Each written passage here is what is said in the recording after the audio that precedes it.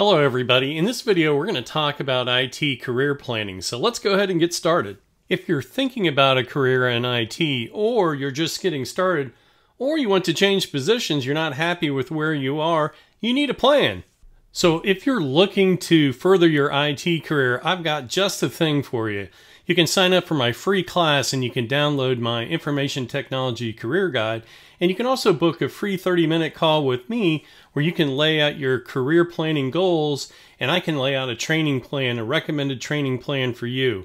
I've laid out training plans for hundreds of commercial companies and I can bring that same expertise to you. And the good news is you can get started absolutely free.